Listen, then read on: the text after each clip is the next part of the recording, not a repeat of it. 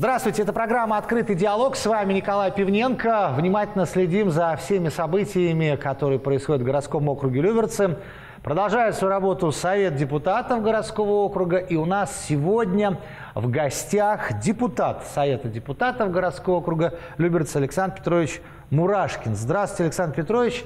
И сразу же первый вопрос. Доброго здоровья и вам. Да. Весна для всех начало чего-то нового. И хотя в этом году зима, ну, особо-то нас не порадовало. С другой стороны, с точки зрения, наверное, э, сложных погодных условиях, может быть и хорошо, что так было. И вот начинается весна. Как весну встречают депутаты городского округа, в частности, Александр Мурашкин? Ну, мы, наверное, тогда отойдем от э, законотворческой деятельности депутата, что угу в первую очередь, наверное, входит в его обязанности. А перейдем сразу, наверное, к работе на земле, э, в округе. Там, где люди. Там, где люди, поближе к людям. Потому что вот даже вот сейчас, совсем недавно в Инстаграме я выступал и э, выходил там э, на, скажем так, объект, вот, э, на землю, и люди пишут, вот надо не по кабинетам сидеть, а именно так работать, выходить к людям ближе, вот, ну, чтобы общение это было, понимание это было. Ну, я здесь полностью согласен.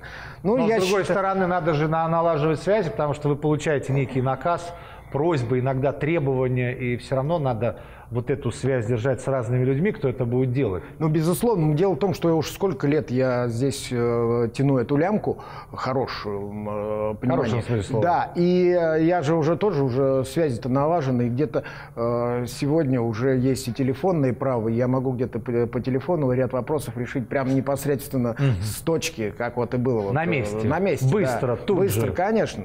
Вот. Это даже во время приемов граждан проходит именно в таком вот э, ключе, что вопросы решаются оперативно, а не из того, знаешь, это. То есть зайдите в конце недели лучше следующий. Да. У меня такого не бывает. То есть есть некий запрос на то, чтобы депутаты э, работали на конкретных участках, встречались с конкретными людьми, которые только там живут. Только так. И которые... Только так. Своими ногами до каждой квартиры. Mm. До каждой квартиры. Вот до такой степени. Вот даже сейчас взять э, вручение медалей к 75-летию Победы. Мы, наверное, будем в, в процессе передачи к этому возвращаться. И ведь э, я был завязан на 20-ю гимназию, вручали медали, но не все смогли прийти ветераны по тем или иным причинам. Кто-то уехал, э, забрали дети, кто-то не смог по, по состоянию здоровья, здоровья да, по, да. прийти. И таких более 100 человек. И вот задачу, которую ставлю я перед собой, депутаты с моего городского, э, с моего избирательного округа, мы о них тоже сегодня сказать должны обязательно, и э, мы ногами каждому ветерану. Своими а ногами. списки все составлены, все, проверено, сверено. Все проверено. Не получится так, сверено. что кто-то не дождется своей медали. Спаси и сохрани. Тут вот один вопрос такой, даже на встрече с главой ко мне обратился избиратель, там угу. с бабушкой какой-то справки не хватает, и то мы этот вопрос сегодня решаем. Каждая медаль должна дойти до своего героя. Это... До, до праздника. До праздника. До праздника такие задачи мы ставим перед собой. Хорошо. Но о празднике мы поговорим во второй части нашей сегодняшней программы. А сейчас давайте поговорим о том, все-таки какой была зима, подведем немножко итоги. Э, что удалось сделать из тех планов, которые намечались? Как вообще, как вы считаете, вот эм, ваш, э, ваши жители, там, где вы работаете как депутат, и в целом городской округ Люберцы, зима хорошо прошла? Ну, вы сами видите, что у нас в этом году зима была не по-зимнему теплая, ага. снега мало, поэтому, с одной стороны, хорошо сейчас и убирать его так много не надо. И так, Сколько сэкономлено бензина-то? Э, да, средств, в том числе бюджетных. И э, город, я должен заметить, он же в течение всего этого периода э, убирался сотрудниками э, служб городских, э, управляющих компаний. И я должен э, заметить, что ну, город, в принципе, он такой вот у нас э, сегодня Вы, к слову, чистый. чистый ведете, чистый, да. да, я к этому. И э, есть, конечно, там отдельные места, но это не без этого. Да? На них мы и обращаем внимание исполнительной власти. Mm-hmm. А, вот как то а, совсем недавно, да, на встрече с главой городского округа а, жители с молодежной улицы задали вопрос, вот, что был свален строительный мусор вдоль улицы и на обочине. Я лично туда тоже пришел, посмотрели, да, это так, это безобразие форменное. Глава поставил задачу в течение двух недель вот это вот все привести в надлежащий вид.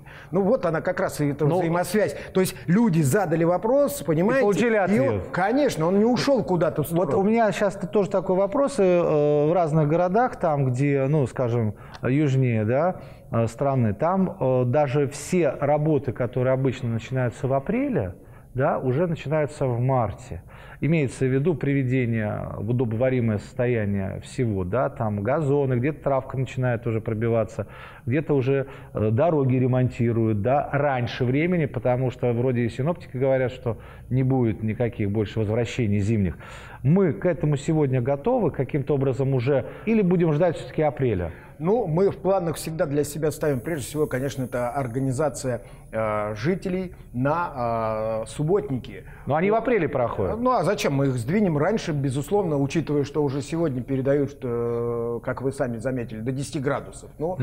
а что нам мешает уже сегодня наводить порядок, а не дожидаться там апреля или майских праздников? Уже сегодня навести э, элементарный порядок на придомовой территории.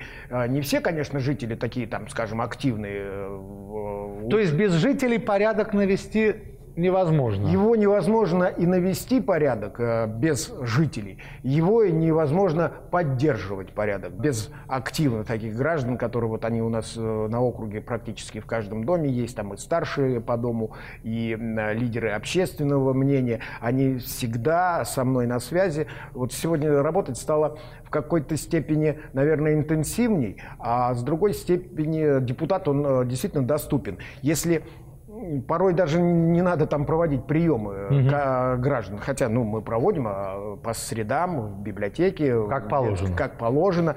Но это в основном приходят люди а, уже старшего возраста. Как говорят, старой формации. Да. А, ну, мы всегда доступны, мы всегда открыты. А вот ну, молодежь сегодня, я в свое время а, всегда и до сих пор раздаю визитки, там мой мобильный телефон, вы всегда можете в любое время позвонить. Ну, Люди... Ну, плюс интернет, мессенджеры э, Конечно, то есть настолько вот, ну, эта доступность всегда вот, ну, прям вот, ну, моментом мы какие-то вопросы решаем. И вот сегодня даже утро, казалось бы, а уже два гражданина э, обратились, обратились э, по, по, по телефону, и мы сегодня по телефону А решаем. что просят? Вот какие ну, самые главные вопросы? Один вот сейчас вопрос, весной.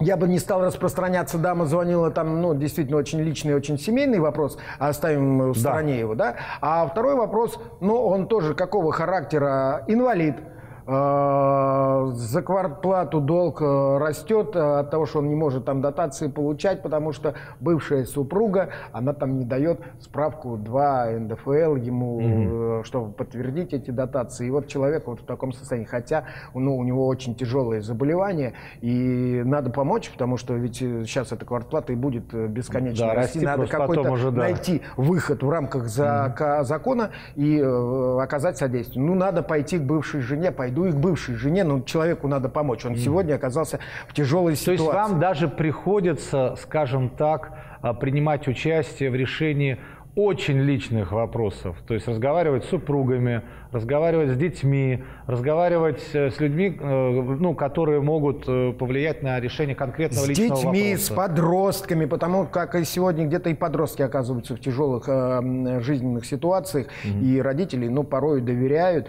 э, мне, ну, провести какую-то разъяснительную, воспитательную работу. А самое главное, я как считаю, что человека надо чем-то увлечь, этого молодого э, парня или девушку мы, конечно, в свои ряды всегда берем на какую-то общественную работу, э, скажем так, э, переформатируем, и смотришь уже, ну, совсем человек другой меняется, человек. Да. Меняется, ну, потому что он понимает, что в нем заинтересованы, Конечно. и э, его участие в жизни ну, Мне легче важно. работать, э, скажем так, вот, ну, с молодежью в, в этом плане, да, потому что я очень определенное, ну, долгое время я отработал в школе учителем, и mm. мне это все ясно, все это понятно, и э, как-то То есть нахожу, педагогический стаж нахожу, вам помогает в безусловно. данном случае. Хорошо, я вернусь к людям, которые которые, да, вот мы пережили э, зиму, идем в весну. А, сегодня, э, если раньше все-таки э, депутат это было что-то такое вот где-то там высоко, и как вы сами говорили, да, не каждый мог дозвониться, и не просто дозвониться,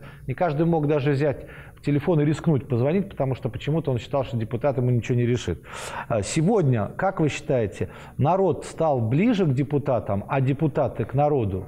Вот вы говорите, вы пришли на землю, а сами люди как реагируют на депутатов? Не только на вас, а вообще на депутатов. Ну, во-первых, надо, давайте мы все-таки по именам назовем наших депутатов давайте. нашего пятого избирательного округа, который начинается от э, поста, как мы говорили всегда на высшей школе. И сегодня он через центр, через наш знаменитый крест, он уходит туда, э, на северную часть города. Округ э, действительно большой. Ну и нас, э, четыре депутата, это Татьяна Мельник, Павел Софьин и Сергей Непомнящий. Ну и ваш покорный слуга Александр Мурашкин. Вот нас четыре депутата, ну и мы стараемся как-то, ну, всегда, естественно, мы на связи между собой, стараемся, ну, распределить свои силы, чтобы, чтобы дойти до каждого.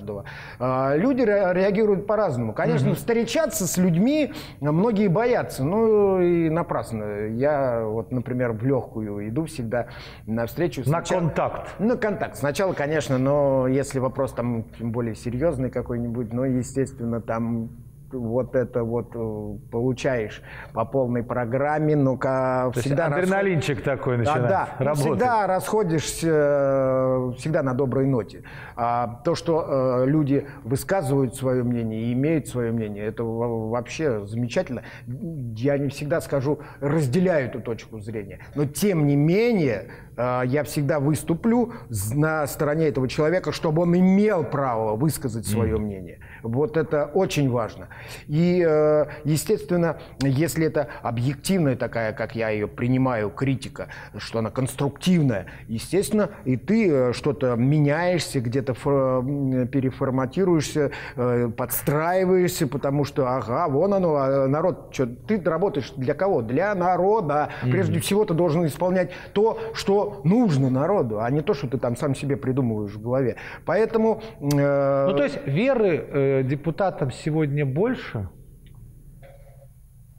Вот этот вопрос, наверное, меня где-то в тупик э, ставит. Но, во всяком случае, я могу сказать за себя. Мне да. верят. Мне верят, потому что я стараюсь исполнять то, что я обещаю. Вот, э... В процентном соотношении из того, что обещано, сколько уже вы выполнили? Ну, опять-таки, так сказать невозможно. Я то, что обещаю, я до ума довожу. О, вот до ума довожу. До ума довожу.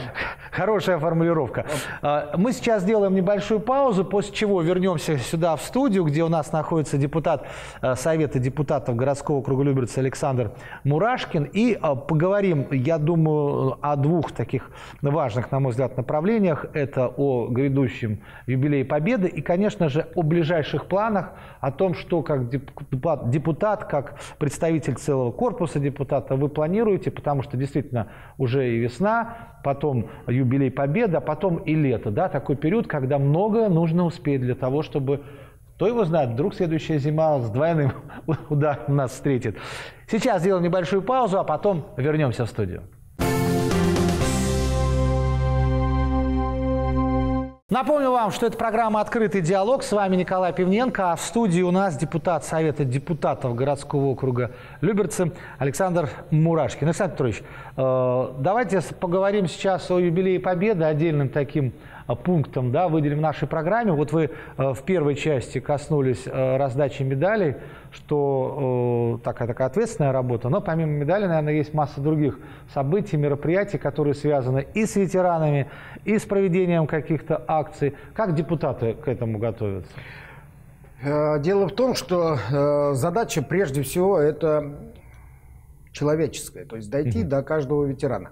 В моем понимании мы, э, вот лично так и поступаю, не только я в День Победы вспоминаю ветерана. Ветеран это всегда, это каждый день. Как вот в Японии нет там Дня Учителя, у них угу. каждый день. Учитель это на высоте. Так и здесь, каждый день, потому что это... Э, история нашего, э, нашей страны. И я стараюсь, ну, каждый день, вот оно, счастливые мгновения, счастливые моменты. Ты сегодня можешь пообщаться с этим ветераном, э, не откладывая это на завтра, на послезавтра или там к юбилею Победы. Каждый день.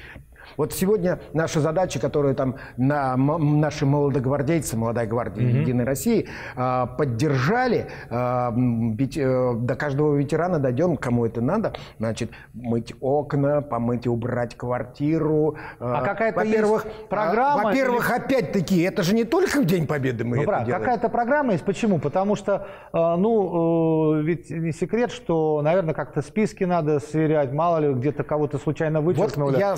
Какой план работы Объясню. с депутатами, с ветеранами? Объясню. У нас четкая взаимосвязь, э, так скажем, на местах. Э, у нас очень сильные общественные организации ветеранские, к примеру.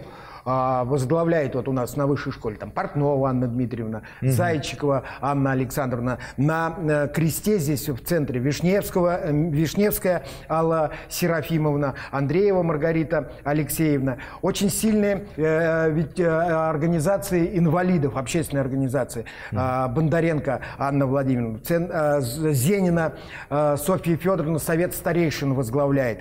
Э, Дети войны, та же Поликар э, Карпова Ольга э, Петровна, э, Галина Сергеевна Аринина, э, «Дети войны».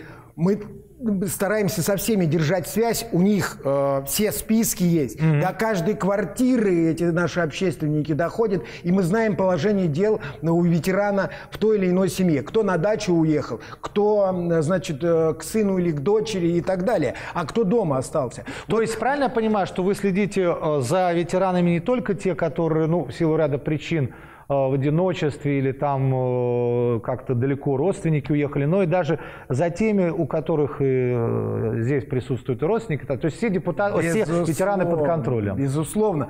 И, естественно, эти списки сверяем, к сожалению, мы это видим и понимаем. Умирают наши люди, и вот он, казалось бы, совсем недавно я поздравлял мужчину, с 95-летием, а тут уже в 20-й гимназии, когда вручал медали, пришла супруга а, в трауре, в черном платке, и я понимаю, что его не ушел, стало, она да. говорит, да, ушел, 9 дней, как вот отметили. Хорошо, ну а как вот э, речь, вот конкретная помощь, что это? Э, вот вы говорите, мыть окна, ну, вот, э, еда, да, какие-то... Элементарно. Э, есть у нас такой участник да. войны, Николай Владимирович Гордеев, mm. на улице космонавтов проживает. Э, ну и обратился он с такой просьбой через Совет uh-huh. ветеранов, это она просьба-то прошла. Значит, когда вот это меняли э, телевидение аналоговое и так далее, значит, пришли умельцы, у нас и такие есть, Конечно, не без уродов, да. значит, которые ему, извините, а другого слова нет, впарили э, какой-то там приемник непонятный за бешеные деньги. Ну, я считаю, ну, это, это не люди. Вот. На их совести. На их совести, да. А и в результате он все равно там без телевизора остался, а он так любит спортивные программы.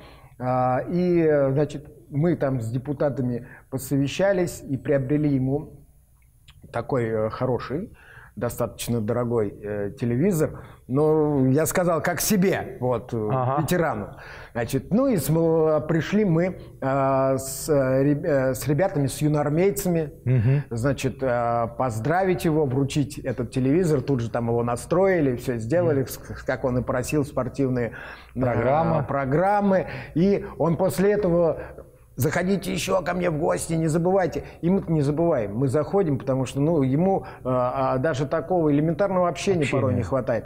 А нам-то за счастье. Он ведь нам столько расскажет, что мы ни в одной книжке, ни в одном учебнике это нигде не найдем и нигде не подчеркнем. Вот она, связь поколений. А я в свое время это расскажу уже э, своим детям, как в том самом реквиеме. Детям детей расскажите о них, чтобы тоже запомнили.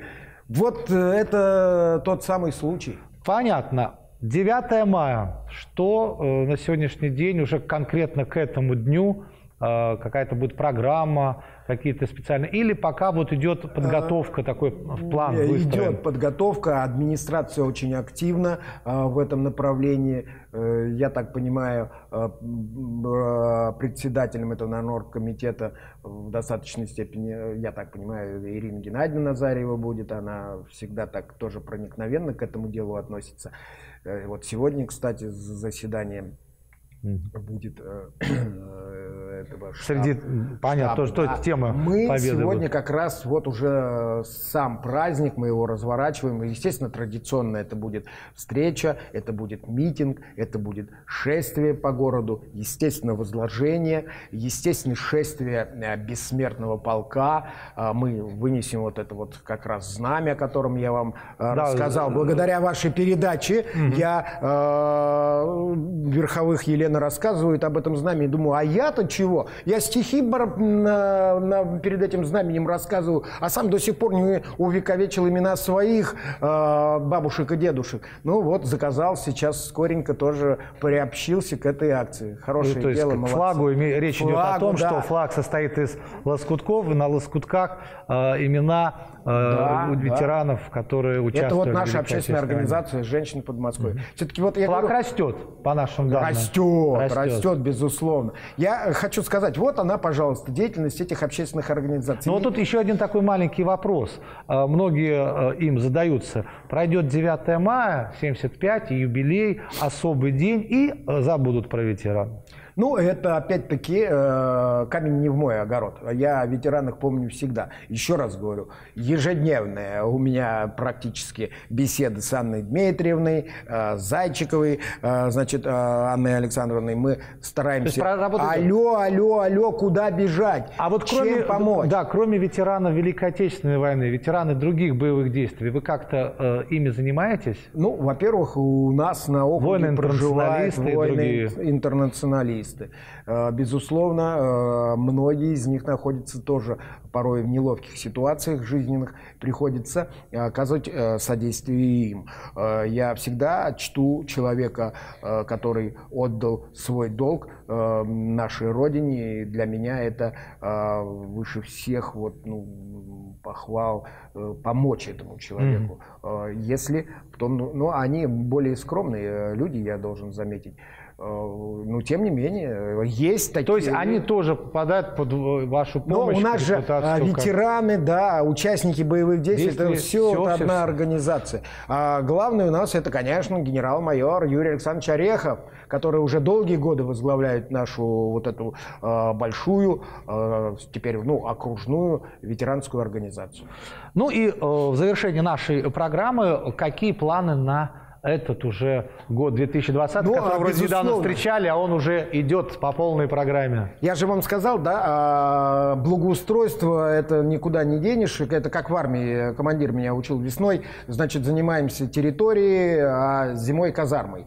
Вот. Но тут у нас и, э, То есть уборка территории, покраска, подготовка деревьев, обрезка. Посадка деревьев, это обязательно каждый год. Вот э, там взять у нас там объекты, та же березовая роща, э, м, просят обязательно дополнительные детские площадки, а они там уже у нас в графике э, у исполнительной власти, администрация знает, э, м, очень много появится площадок э, в городском э, нашем в избирательном округе. Затем вот попросили, она в бюджет тут ну никак не бьется, но мы что-нибудь придумаем с источником финансирования, безусловно, в рамках там каких-либо программ, с, площадку для выгула собак. Э, У нас вот ее нет, люди просят. И э, обязательно надо добить. Я еще ответа не видел из администрации, но э, надеюсь, что там положительный придет ответ. Дело-то А что, хорошее. Какая-то особая площадка, прям Да большие почему? средства, что ли? Ну, а, но тем не менее, же все равно это надо и а, огородить эту площадку, и подсыпку грунта провести, и благоустройство элементарно. А вот вы сказали- Ну, и да. э, определенный там, почему бегают собачки, прыгают. Ну, понятно, да. Инструментарий, назовем Да, это так. да. А, Скажите, пожалуйста, а что такое источник финансирования? Ну, э, во-первых, любое дело, оно требует определенных э, Средств. бюджетных э, вливаний, конечно.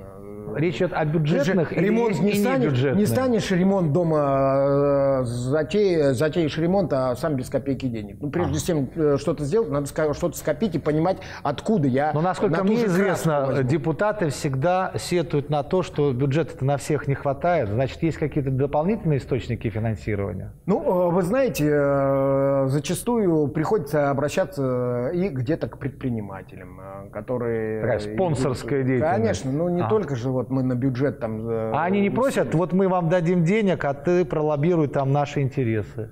Ну, до такой степени не доходило, как я говорю, я никому на крючки-то никогда не высаживался. Mm-hmm. Вот. Я разговаривал исключительно с порядочными людьми, которые хотят что-то сделать, в том числе и для нашего города. Но мы же здесь живем, мы должны любить наш город. Но если То есть, есть на контакт такая... люди такие идут? Конечно. Ну вот взять того же предпринимателя Филимонова Дмитрия Борисовича. Mm-hmm. Ну, таких я могу по округу много привести.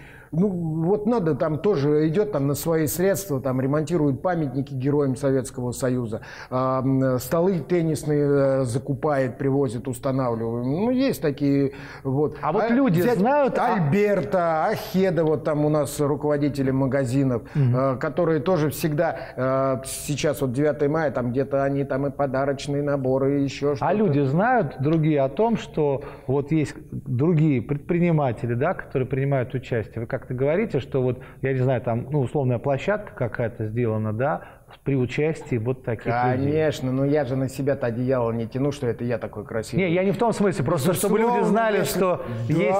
Родина вот должна знать своих, своих героев. героев да, безусловно, я всегда говорю и пишу, и в газетах мы благодарим. И вот посредством э, ваших передач тоже мы говорим слова благодарности этим Ну ребятам. и вот у нас остается одна минута. А какие сложности сегодня у депутата Мурашкина есть?